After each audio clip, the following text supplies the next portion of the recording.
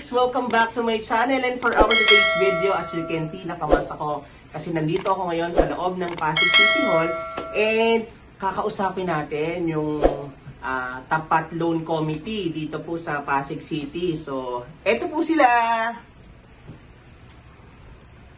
Ayan. So, makakausap natin sila today dahil i-explain nila sa atin yung inyong mga concern o yung mga question nyo regarding kung paano nga po mag-apply sa Tapat Loan Program ng Pasig City at yung ibang mga question nyo kung kayo ba ay tanggap sa loan na in-apply nyo at kung paano kayo i-message kapag kayo ay approved na sa loan na in-apply nyo din po sa Tapat Loan Program ng Pasig City. Kaya naman, let's all watch this. Hi sa mga viewers ng Kurt TV. More power po sa inyo.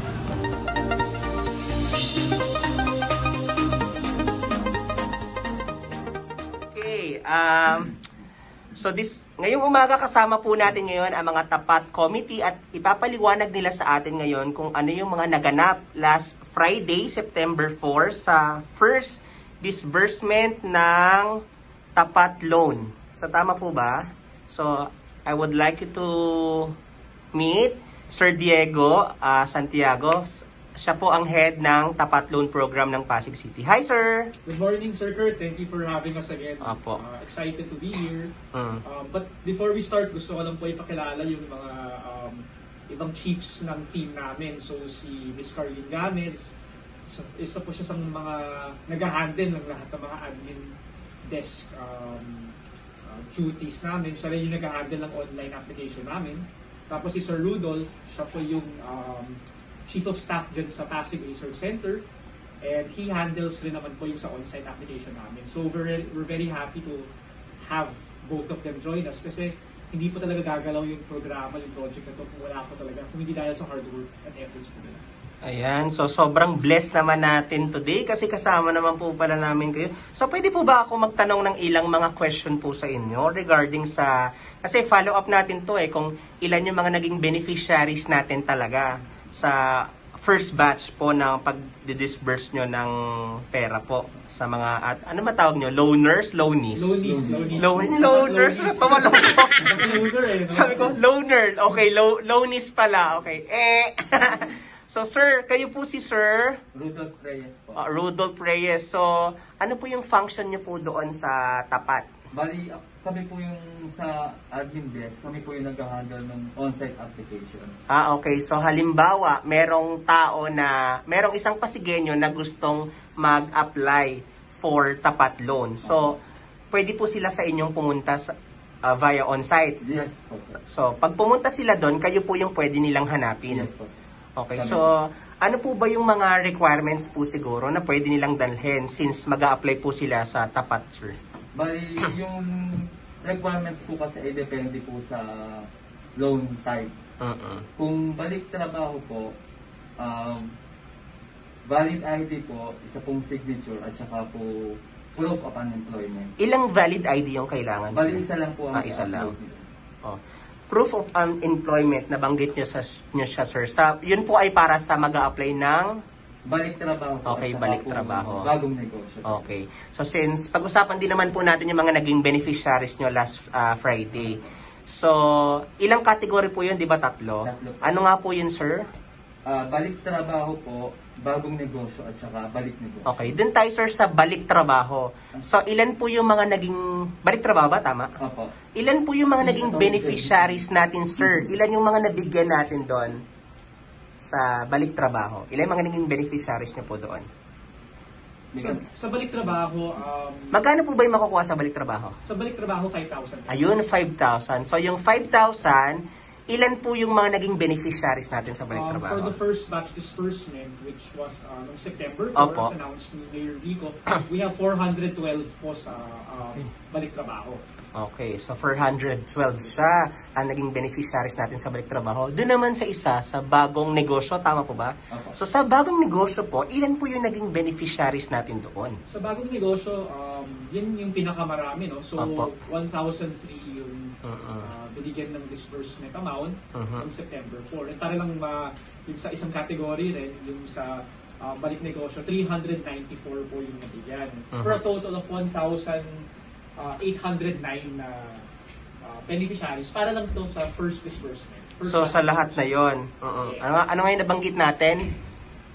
Balik trabaho. Balik trabaho, 300 plus. At ma, yung sa balik negosyo, 394. Okay, and then? Yung sa balik trabaho, 412. Opo, yung isa. Tapos sa bagong negosyo, 1,003 for a Ah. total of 1,809. Ah, so uh, almost 2,000 din po pala yung mga naging beneficiaries natin. Yes, sa totoo Ah, lang. Um, first dapat, batch? Dapat talaga 2,000 yung habol namin. Actually, Mhm. it was first 1,500. Opo. Target po namin. We try to push it to um, 2,000 to approve as much as we can. Pero nung nag-submit kami ng mga names for um, disbursement sa yung partner disbursement, uh, yung disbursement partner namin, yung Paymaya, Mhm. may mga nag-ilang uh, submissions na mali yung number or Mhm. hindi ma-verify. So, 1,809 lang po talaga yung na-verify po namin na may existing account. So, yan po yung number, yung final number, at least for the first disbursement. Mm, so, yung mga hindi pala complete requirements, hindi talaga natin sila ina-approve. Yes, uh, Mhm. yung mga binibigay po namin sa Paymaya ng mga pangalan para mag-disbursan po ng Paymaya, lahat po talaga dyan, complete approved yun. So, kompleto po yung requirements, nakasign na po ng loan agreement with us. Kasi syempre ayaw namin na um, kung kulang ka, mabigyan po kayo ng pera. We have, as Mayor, Mayor Vico mentioned in his talk this morning, Mhm. we really have to be strict with the requirements po talaga. Because Mhm. limited lang yung budgets pa. Yung, yung funds para dito. Okay po. Next question po. Paano nila malalaman na sila ay approve sa kanilang loan? Since kasi yung iba daw, kailan po ba kayo nag-start ng loan, sir? Nung, kailan po nag-start yung program natin? July something or August or June? Early July. Early July. I think July 20 something ganyan or first week. First week. Mga first week doon. So yung iba daw kasi parang sila daw yung parang nauna sa pila or yung number nila. Nagmamatter ba yung number or magmamatter doon sa based doon sa complete requirements na maipapasa ng ng loanees? Uh, definitely po sa complete requirements Okay. we check. We've also had some uh, complaints na maraming pupunta sa amin na Mhm. bakit yung kapitbahay ko na mas late nag-apply, mas nauna po siya yung approval. Mhm. Siyempre, chinek, chinek namin kasi baka Mhm. nagkamali rin po kami. Pero, uh, pag chinek na, nung chinek namin, talagang kulang pala yung mga requirements ng Mm. yung mga mga nauna. Um, yung ibig sabihin po ng number is that kayo muna yung check namin. Check Yeah. namin kung kompleto yung requirements. Pero hindi po ibig sabihin na nauna pa kayo sa pila or mas Yeah, so mas mababa hindi yung- guarantee na pag Definitely. kayo yung ganitong number, kunwari pang 8, ah, pag 165, eh ikaw agad yung unang ma-approve. Depende pa din sa assessment ng requirements na pinasa mo. dapat approve, dapat Mhm. um, complete requirements. And then, to the credit of the team talaga, sa sobrang grabe yung hard work na ginagawa Mhm. talaga ng admin, admin desk namin, talagang sinasabihan po namin kung kulang yung requirements niyo po, we give we always give a chance. We hindi namin hinahayaan na incomplete requirements or kulang requirements or maling requirements, bahala ka na. Ah, Lahat po okay sila po. sinasabihan kung um, ito yung ito yung ras- rason kung bakit mo hindi kayo approved, uh, pakisubmit yung ganitong requirements. So Okay. siguro yung ibang concerns ng mga tao, di kasi nila chinecheck na actually on the part of tapat, we message them kung ano yung po yung kulang sa mga requirements nila. Mm, okay. Ah, paano naman nila po malalaman na approve sila? Kunwari ako po, nag-apply po ako, tas ay pinasa ko na po is, kompleto naman po yung requirements na pinasa ko. Paano ko po malalaman na ako po ay approve sa loan na aking in-applyan? Sir. Bali, malalaman po nila na approve sila. Once na na, na-receive po nila yung loan agreement, isi-send po ng tapat platform yun. Mm. At i-accept po nila yung terms and conditions. Approve po sila dun. Ayun, Yes, so, ah, mabibigyan, hindi, sila ba ang nag-upload din ng, punta naman po tayo dun sa Paymaya account, no? Sila ba ang kailangan na may Paymaya account o kayo po ang magbibigay nun sa kanila? Uh, just to add sa sinabi ni Sir Rudolph, para kung malaman kung approve sila o kung nagbago po yung status ng kanilang application, ini-email po sila. Mhm. Kuwari po may missing documents po sila or na-approve po sila or na-disapprove po sila, ini-email po yun. Pero kung um, di po sila masyadong nagbubukas ng email, pwede po nila buksan yung tapat account po nila mismo. Makikita po nila doon kung pending pa, pa rin po ba Mhm. siya, kung approve na po ba siya, or kung may missing documents po siya. Mhm. Lahat po doon nakasulat po yun. So kung may concerns po kayo na hindi, nyo, hindi pa po siya gumagalaw, check nyo po yung email nyo po or yung tapat account nyo po makikita nyo po yun. Mm-mm. Tapos dun po tungkol po sa Paymaya, um, kung ano po yung nilagay nyo pong number dun sa application form nyo, yun po yung papadalhan po ni Paymaya ng ah, voucher po na pwede nyong i-redeem para makuha nyo po yung loan amount nyo. Um, minsan po, um, may mga mali-mali pong number, may kulang na isa, o may sobra, or minsan landline po. Pag ganun, tinatawagan naman po namin sila na, oh, may problema po sa account nyo, ah, sa cellphone Number. number, nyo po. Pwede po ba magbigay po kayo ng, ng isa pa o yung tama po na number para pumasok po. Meron din naman pong iba na meron na palang ah, Existing account. Yes, tapos iba yung binigay na number. So automatically ba dapat sa kanila manggagaling yung Paymaya, Paymaya account or sa inyo po? sa kanila po. Sa kanila. Kasi So- doon po namin ipapadala. So kailangan mag-download sila ng app. So. Okay. Ah, kung dahil nagka-problema nga po yung iba na nagbigay sila ng ibang number. Pero um, meron din pala silang number na may Paymaya account na. Mm. So dapat magkaiba pala. Yes. Eh, hindi po. May dapat pareho. Mm. Kasi po yung iba, nagbibigay sila, kumari, yung globe number nila yung may Paymaya account, tapos yung smart yung binigay dun sa amin. Eh di hindi po nila ma-open yun. Hindi po nila ma-open. So dapat globe to globe din. Kahit ano naman pong, Number. um, kahit ano pong, ah, tawag dito, brand po yan ng telephone company, Mm-mm. pwede po ang Paymaya. Hindi lang po yan exclusive sa smart Ah, ah, okay. numbers. Yes po. Pero yun po, um, kapag nagsasubmit po, pakisigurado po na tama yung number nila, hindi po landline, at pwede po siyang magkaroon ng Paymaya para hindi po tayo magka-problema sa disbursement. Okay. Meron din po pala akong question kasi nung nag-scroll ako sa Twitter, may nag-message kay Mayor Vico na someone daw ginagamit yung, ginamit actually, yung kanyang email. Kasi nag-email daw sa kanya, actually ipopost ko rin naman ito, ipa-flash ko to dito eh, yung nakita ko dun sa pinost sa Twitter. Ginamit yung email niya sa pagkuha ng tapat loan. Kasi sa kanya nag-email eh. Yung sa taong yon. So, an paano ba natin din ma-verify or wala na tayong sagot doon? Hindi na natin consent yon pag may ibang tao na gumamit ng ibang ano nila. Paano natin yung yung assurance ba na sila talaga yon?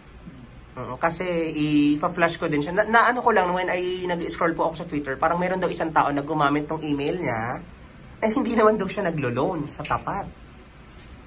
Paano natin daw po ma-assure yung kung siya talaga yung taong yon? Ah, well, yung may verification process Yeah, naman po, po. kami because just because ginamit yung email, hindi ibig sabihin na um, dyan talagang yung loan. Mhm. Kaya nga may we, we send naman kapag approved yung mga loan agreement para ma-verify po talaga na yung gumamit talaga ng email, siya naman talaga yung gagamit ng loan. Mhm. Um, that is our extra layer of security to ensure rin na um, nagkakaroon na, and the person who's applying with the details, yun pa talaga yung tatanggap ng loan. But of course, di na namin ma makontrol na yung iba sa sobrang galing mag-hack. Kasi, Yeah.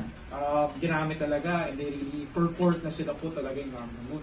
Um, the best solution we have for this, and actually this morning lang, we've received some queries is that um, kung may knowledge po yung tao na ginagamit yung email niya sa mali na um, to apply for this, pwede naman niya sabihin sa amin. We can, um, through the platform, through yung grid sheet, we're able to cancel naman the, the email and withdraw the withdraw the money naman po. Okay. Especially kung mga ano.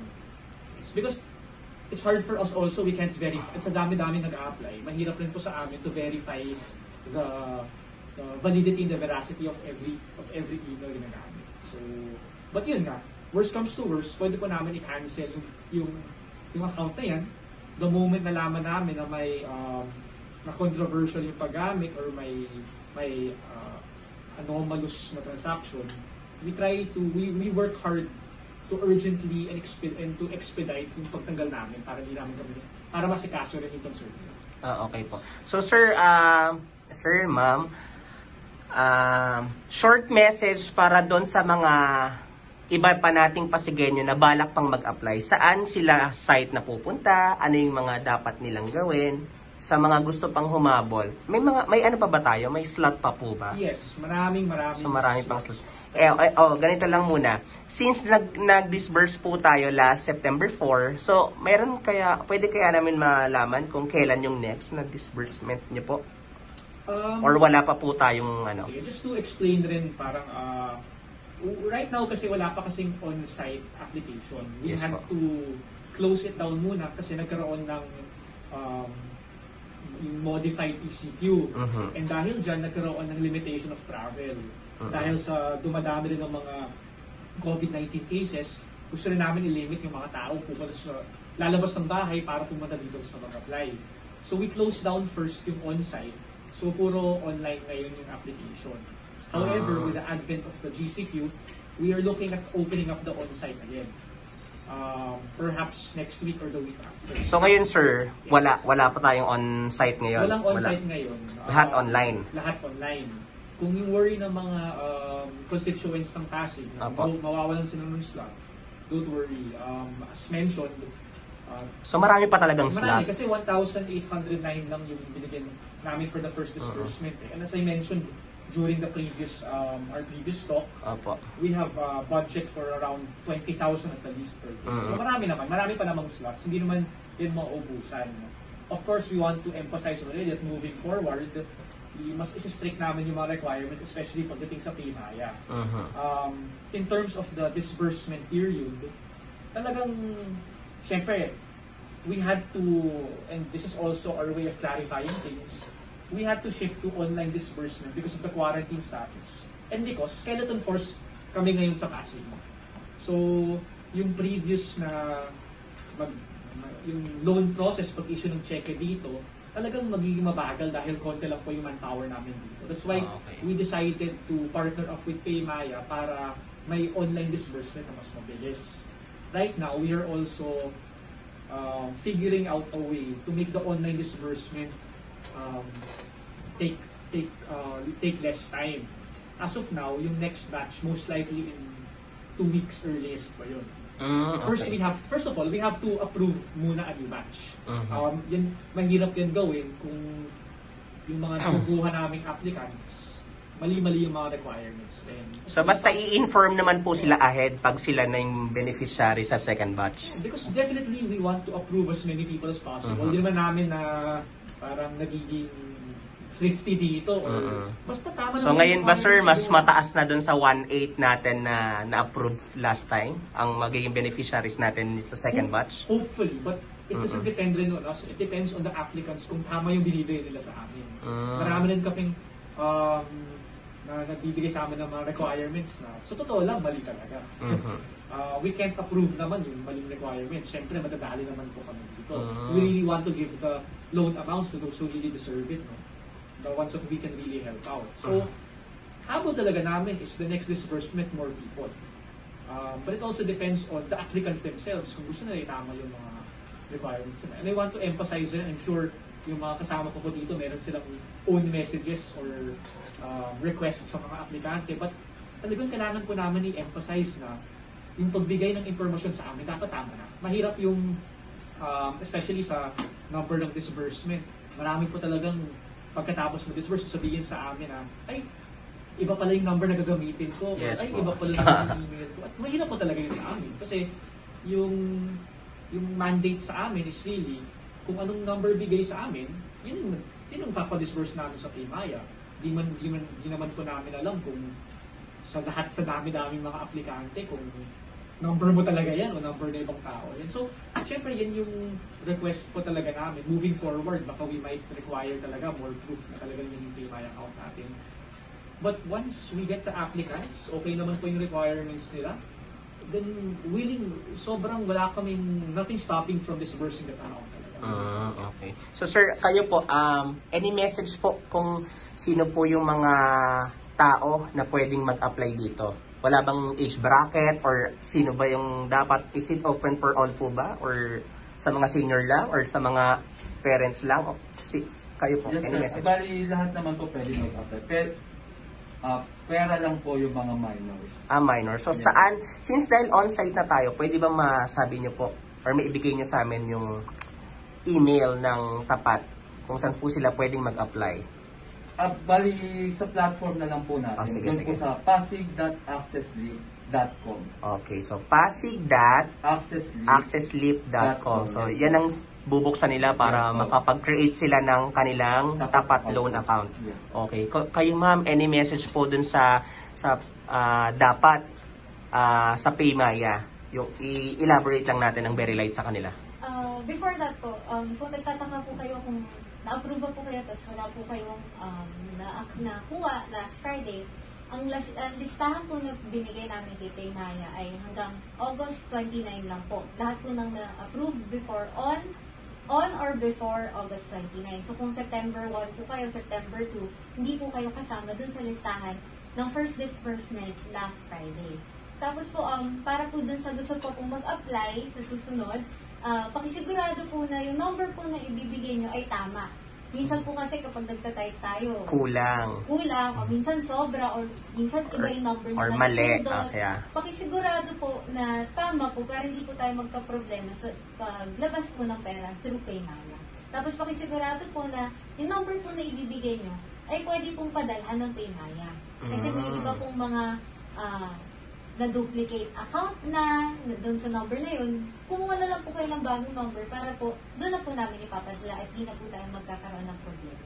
Ayan. Okay, mukhang loud and clear naman ang explanation natin. So, attorney, kayo po ang inyong ah, message para sa ating mga loanies. Sige. Um, well, we're excited for the program. Um, we're excited that we were able to disperse our for our first batch. Hopefully, we can at least on our end, we'll always con- continue to improve to shore up our mechanisms for uh, expediting the the loan process. But what we're excited now is um, lahat ng mga tapat loanies po namin, we will give them access to mga financial aid videos namin. We really want kasi na this program is not just a dole out eh, no, pagbigay ng pera. Gusto talaga namin na lah, basta tapat loanee ka, you're entitled to the resources of the city when it comes to helping you in your journey to become more financially literate, um, to be able to create your own businesses. Kasi as Mayor mentioned, this is an economic uh, stimu- stimulus project.